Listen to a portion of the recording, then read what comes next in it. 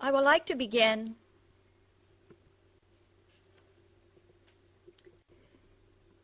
by making reference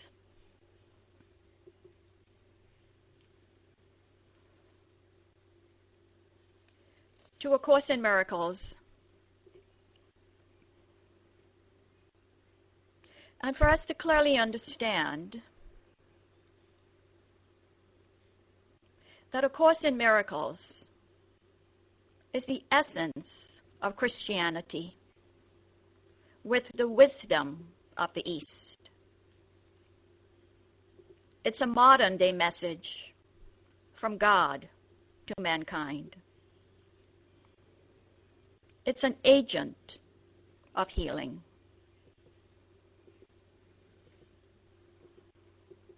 This world we live in, this massive panorama of innumerable separate bodies, all moving through separate places and separate times. This world of suffering, lack, limitation, sacrifice, littleness, feeling deprived, lonely, afraid, depressed, despondent, and disillusioned. This world of old age and death is an illusion. It's not reality at all, but only a dream. And the purpose of A Course in Miracles is to awaken up from the dream and recognize that reality is a oneness which transcends distinctions, differences, and change beyond time. The goal of life is to wake up, to unloose our attachments, and awaken into unlimited bliss. So, how do we approach A Course in Miracles? Which is a tool, an aid to support us in our awakening. Actually, in our remembering. First, you come, you approach it with an open mind, open heart, and empty hands, and willingness. You then start by simplifying your life bringing order and righteousness to your life, honoring you. You're letting go of things that are non essential and stepping back from the momentum of me, mind, and more.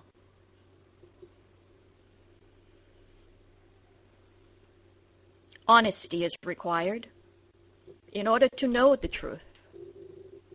So we have to come in honesty to the source that gave us life. We wept because we did not understand. Your sight is being restored now, and you can see. Within each and every one of us is everything we need for our advancement because you're advancing into light. And honesty does not say to what you say. It means consistency. Nothing you say contradicts what you think or do. No thought opposes any other thought. No word lacks agreement with another. That is the trait of honesty. Be wholehearted. To wholeheartedness is given the wisdom. No plans. Don't project. You don't know what the lesson will reveal to you. Just be present. You know, we can read the whole book without having read the first lesson. Remain open and willing. Be present to receive the miracle of the lesson. Otherwise, it's just another preoccupation, something to do. You're stepping out of time into timelessness. Be patient and loving with yourself. And if you want to know if you're making progress, ask yourself Am I more loving? Am I less judgmental? Am I more tolerant? Do I have more energy? Am I less provoked? Am I free from the conditioning of anger, fear, and greed? Whatever is troubling you, know love has the answer.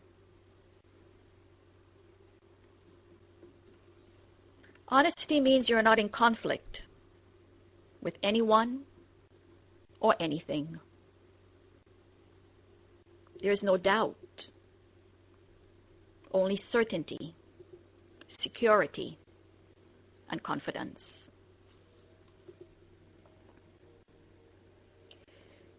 And if you want to know if what you're doing is right,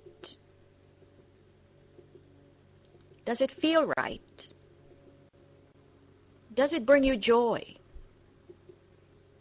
The rightness is a right idea.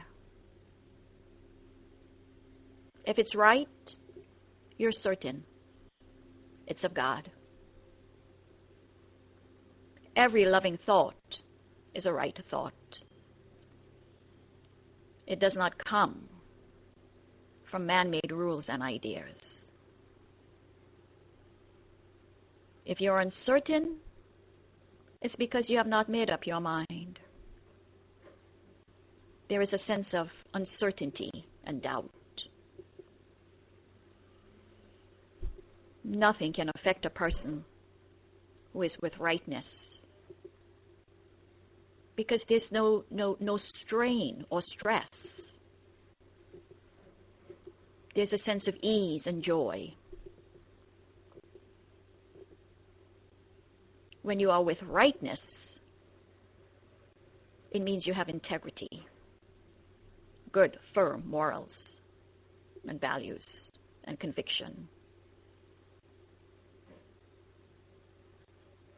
Because you're using the tool of A Course in Miracles.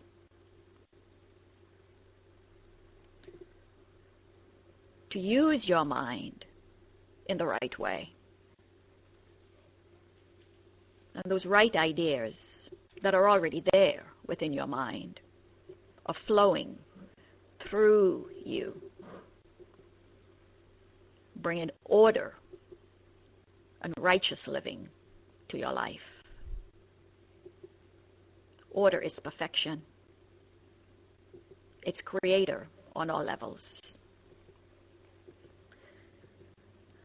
And the more solid you are on the inside, the less the externals will affect you.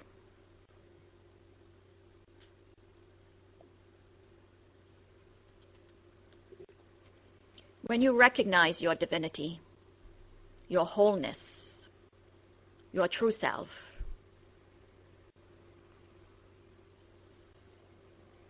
as a body of light, you're doing what you love and loving what you do.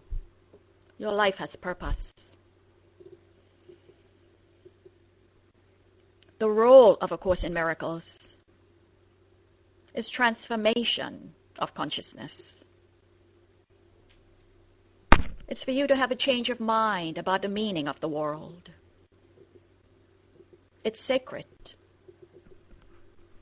It does not, it does not preach. So, what is the difficulty students have with A Course in Miracles? Having been a teacher and student for 24 years, and facilitator of classes. They're trying to learn the Course. The Course is to be lived. You use the words to bring you to the actual state of being, of recognizing what I am. Intellectual concepts cannot reveal the fullness of life. Only wisdom can. And wisdom is the knowledge of God. The Course teaches us we're not concerned with superficial knowledge, but in bringing about a transformation in you that is in accordance with the truth of what you are. What am I? I am love, light, and wisdom eternally.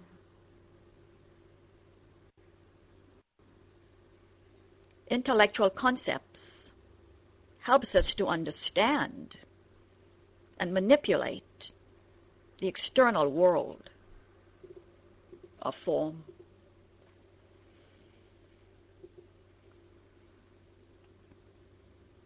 You're removing the blocks that are blocking the awareness of love's presence.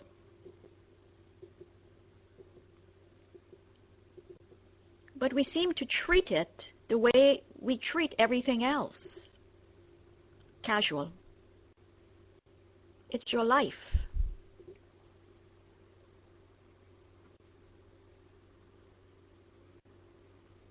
Its aim is a radical shift in your perception,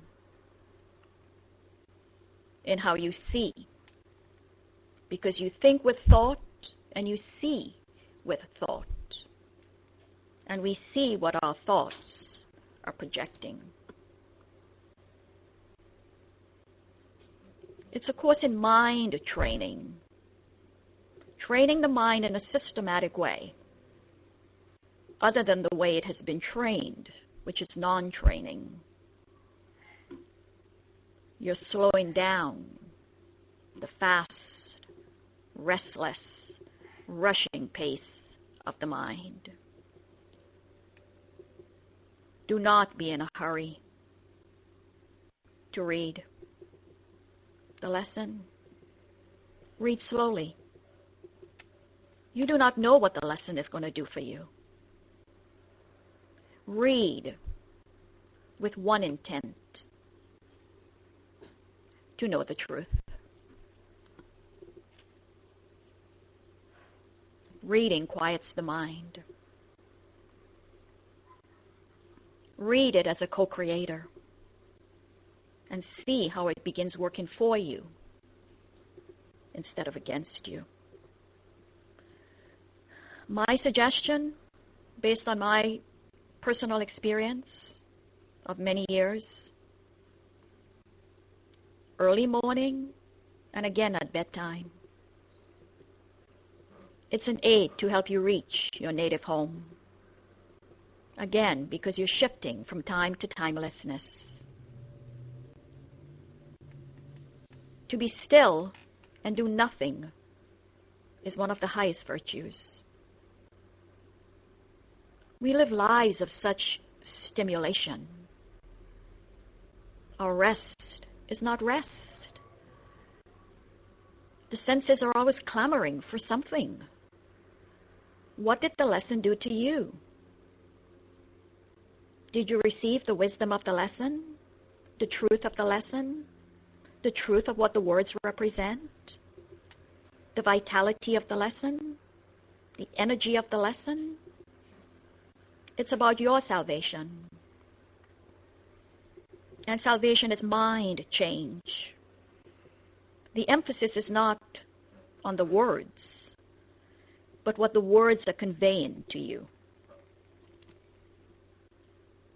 We certainly know that it's not a course in how to manifest more money. It's a course in cause and effect. And it's cutting straight through to the core essence of what you are. So you either accept it or reject it. There's nothing in between. Total freedom or total bondage. You are here in time to express the essence of what you are.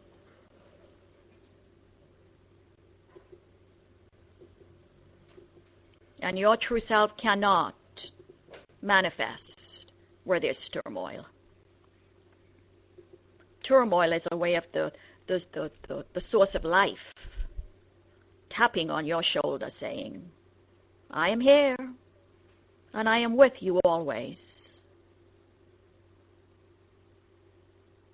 Your true self needs clear vessels, channels to pour through. like oil poured from one vessel into another. No obstruction, no interference. It's your divine right in a physical body to experience yourself as you truly are a body of light. The body's eyes were made to look on error. Because the body's eyes see only form. They cannot see beyond what they were made to see. Trust and know that you're being taken care of. Your senses must be turned inward in order to see the beauty that surrounds you. And the Course teaches us God does not share his function with a body. My happiness and my function are one. The body is not your home, but an aid to help you reach your home, where love abides.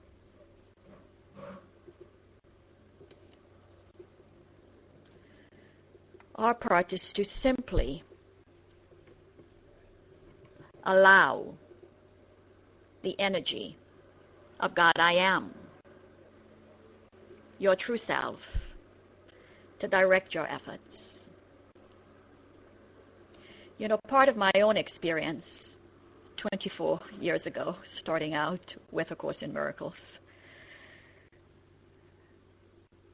there was this deep desire within me simply to know the truth. I want to know the truth. What am I and what am I on this planet to do? And in the beginning stages of my development, I've read out of A Course in Miracles books every day, twice a day, for 10 years.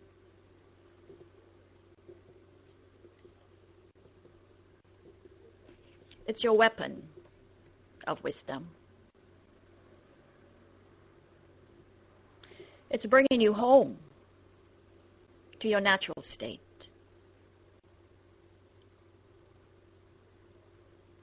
So you can live the life you were created to live. One that is purposeful, rewarding, fulfilling, and offers peace.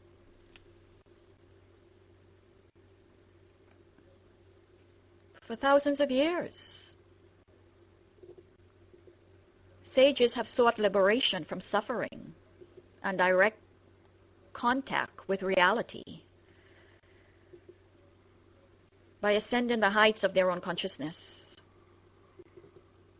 A Course in Miracles adopts an Eastern practice of this world and of true reality. The purpose of the Course is the discovery of your true self. It was really sent to open the path of light to us and lead us step by step through the evolving process.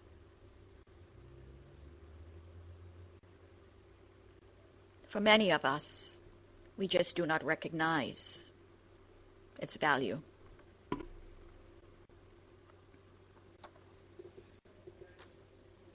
Universal Mind has tossed us a lifeline. Grab a hold of it and float effortlessly to a safe harbor where you're safe forever and forever from the winds of fear.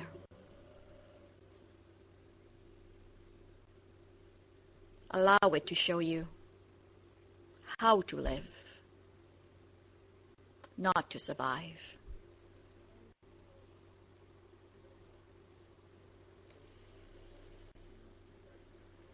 I've often said to students, if there's nothing you read, nothing ever that you read out of A Course in Miracles books, you need to read chapter 23, The War Against Yourself. And chapter 12, The Holy Spirit's Curriculum, Looking Within. Because you see what you expect and you expect what you invite. Your perception, the Course teaches us, is the result of your invitation coming to you as you send for it. Remember always that you see what you seek. For what you seek, you will find. And that which you seek, is seeking you. The ego finds what it seeks, and only that. It does not find love, for that is not what it is seeking. Course teaches us, yet seeking and finding are the same. And if you seek for two goals, you will find them, but you will recognize neither you will think they are the same because you want both of them. You must look in before you look out. As you look in, you choose the guide for seeing, and then you look out. This is why you find what you seek.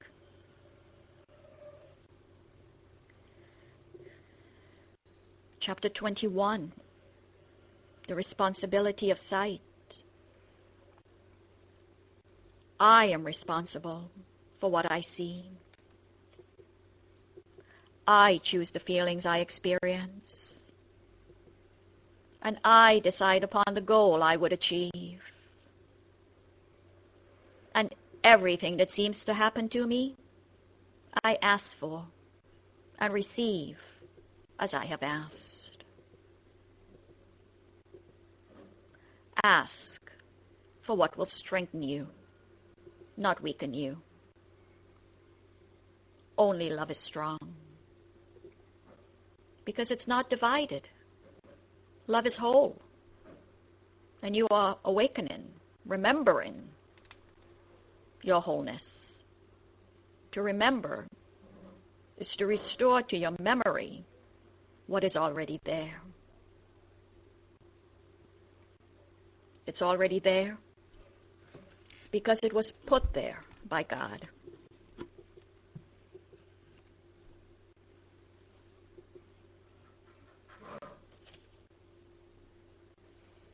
You are perfect, whole, and complete.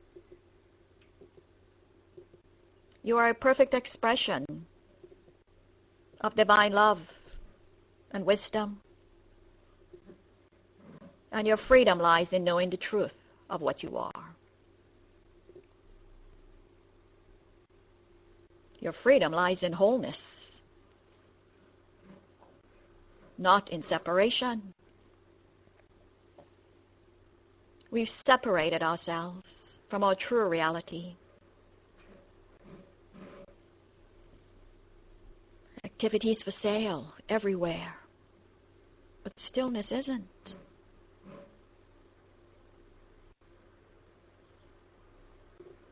As you bring this awareness into every activity of your life, everything becomes sacred, significant, sanctified, and whole. Because you're under no laws but the law of love, light, and wisdom. And as you use the law correctly, all of your desires come into manifestation. Do not violate the law, for when we do, we shut ourselves off from the flow of pure energy. Love waits unwelcome.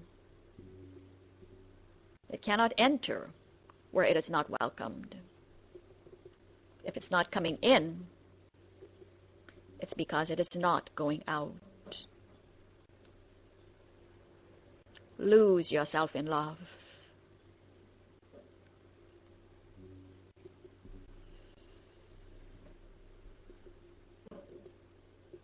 And always remember, I am oneself. There is no other. Only I am.